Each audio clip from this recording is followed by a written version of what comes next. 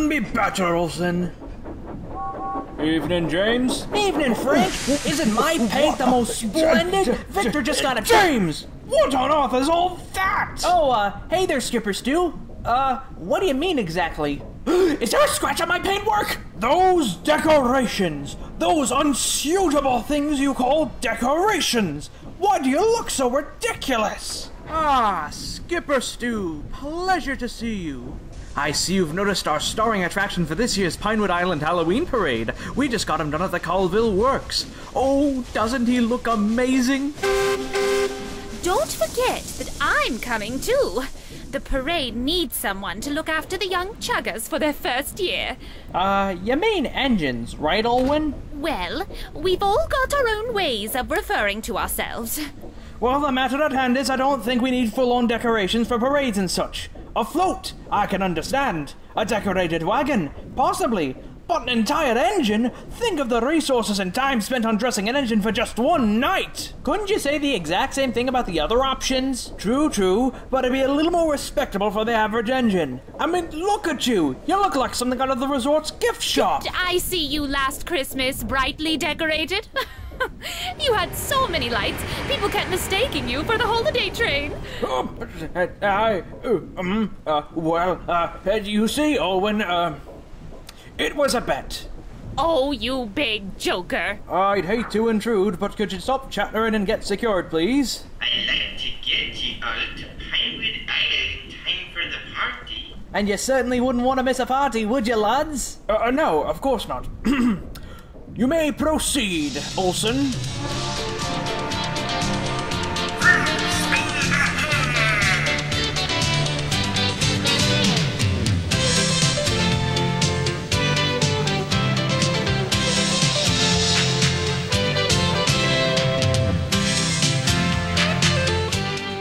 I swear it was a bet. That's not what Salty told me.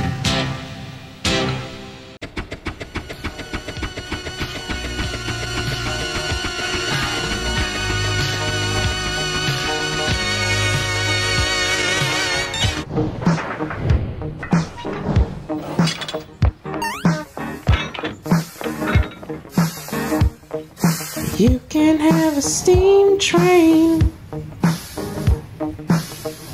if you just lay down your tracks.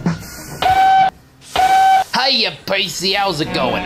Oh, it's going pretty well, TJ. I'm hoping to get my work done as soon as I can, so I have time to get ready to see the new action chugger movie. Oh, you mean Golden Window? Yep, I'm going to see it tonight at the Chuggin.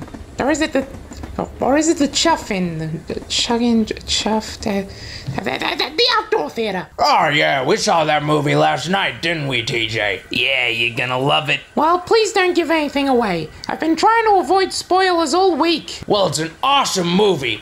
There's this bit where he goes into space and. Stop! This is a spoiler-free zone. Well, you at least want to know about the cameos? Flying Scotsman turns up at one point and. Thanks, but no thanks, I'd rather see it for myself. And then he gets out this giant sword and. Shut up, shut up, shut up! And there's this bit where. La la la la la la, I'm not listening! La la la la la la la la! Okay, okay, we'll stop now. You promise? Yep. Phew. Oh, and at the end, he wins a big game against the alien, saves all the cartoon characters, and decides to retire from baseball to restart his basketball career. No! Wait, isn't that just the ending to Space Jam? Gotcha! Oh, man, you oh, we're just messing face. with you, Pacey. You know I would never do that to you. I'm just not that type of engine. Yeah, and you know, I would never do that to you because I don't want to know what the fat controller would do to me in return. He's still holding my favorite video game hostage.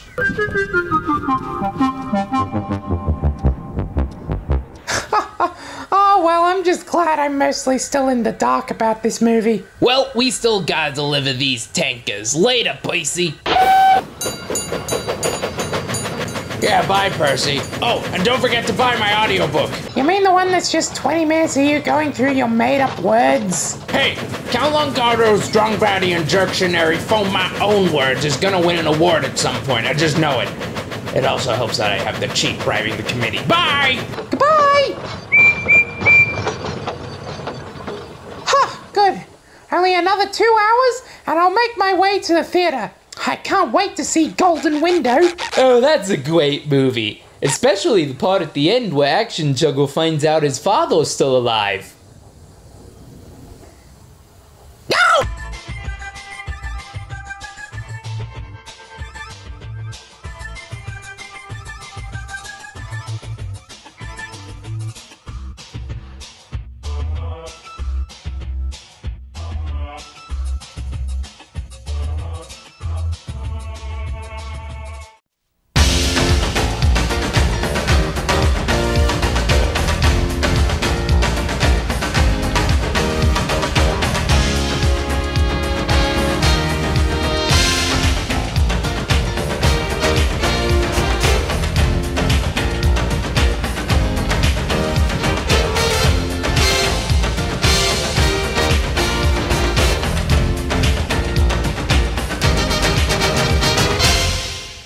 Thomas and Tracy enjoy helping out at the Bluesburg Steelworks. They love visiting their friends Phoebe and Ralph and giving them much needed help. Ralph has constantly kept busy running the manager about and shifting ladle cars into place, while Phoebe takes on long journeys to Bluesburg West Junction and beyond. But the yard had many orders to fill for the next few weeks, and even the extra two engines weren't enough to keep things running. That was when Diesel, Arry, and Bert came in. Diesel was in charge of the docks at Gradinia Bay, while Arry and Bert had been brought in from the Sodor Ironworks for a period. Together, the engines had a known reputation for pranks and mischief making around other engines. They arrived one busy morning. Thomas and Tracy were arranging a freight train for Big Tim to bring out when they oiled into the main yard. Hello, Puffball, said Arry. So the big old steelworks can handle with a teapot on rails. Figured they'd send for some modern diesels to help with the extra workload. You'd be modern 70 years ago, quipped Ralph. Now, as manager's diesel of the Bluesburg Steelworks, we're gonna need you to... On a rusty matchbox on wheels for a boss. Boy, you really need proper diesels around here. Greasily chirped. Why, you? All right, said Phoebe coolly. Now that we've gotten to know each other, let's get to work. Diesel, dockyard deliveries. Arry and Bert, you're working the pier. And she confidently went back to the steelwork shed to work.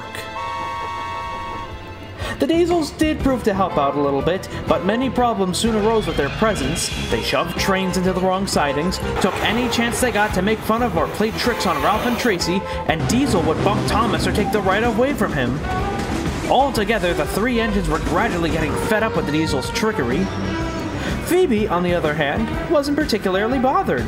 No matter what prank she got, she took it all in stride.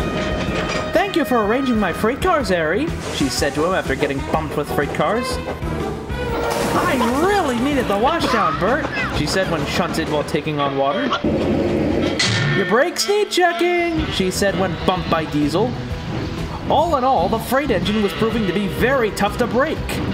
And Diesel and his cronies were more determined than ever to push her to the edge. Next morning, Thomas and Phoebe were sent to Selgreb City with a heavy freight train. They were to be transferred to another train heading out for Pennsylvania in the afternoon. Make sure to mind yourselves while we're gone, puffed Phoebe, and mind yourselves if you have to go through Bluesburg West. Huh, said Diesel. We can handle that yard easily. And determined to prove they were capable, he requested that he, Arry, and Bert be coupled to the next train heading out through there. There's a 12 o'clock express to go to Boston, but you'd better watch out there. It'll be rush hour.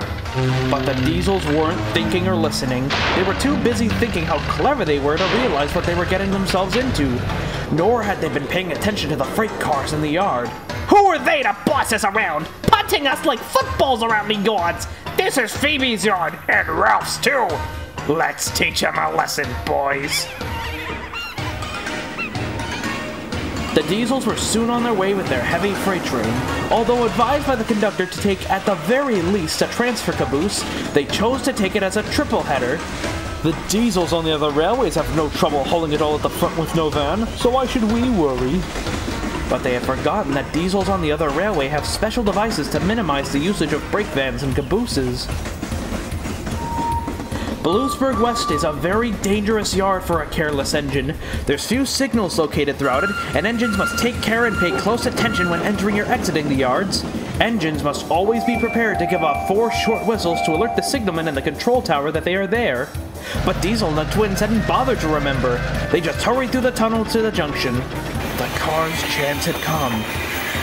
On! On! On! They yelled, and with a mighty shove, the cars took the diesels by surprise and surged the speeding engines into the junction.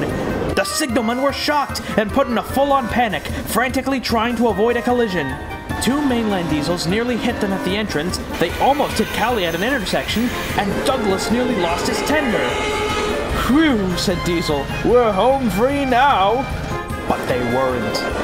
They hadn't accounted for Alea, a little shunting engine who was pushing a line of freight cars to go to Grafton Harbor. She was entering the main line. Oh no! screamed Diesel as he shut his brakes hard on. Then, disaster struck. Diesel was on his side next to the crash, dazed, confused, and bruised. Some of Alea's cars had been thrown right off the track, and with Arry and Bert derailed on the switch, no one from the main line could get into the junction. Hang on! shouted Alea. I'll fetch a crane and send for a few others! By the time the mess was cleared, Phoebe and Thomas were returning from their big run. Phoebe was a little bit entertained from the debacle. Well, well, well, three diesels too big for their buffers couldn't manage steel cars, eh? Diesel was fuming. Well, if you treat wagons and engines like that, then it's gonna bite you in the tail lamp, she said firmly. Right, shall we try and haul these cars to the yards? If it helps a bit, said a tired but still willing Thomas. It took some time to tidy up the mess, but soon everything was put right again, and Thomas and Phoebe hauled away the wagons to Foston. What about Diesel, Larry, and Bert? Well, it wasn't long before the Colville Works had them back up and running again, but they don't mess with steel cars anymore, because they know they'll try to bite back.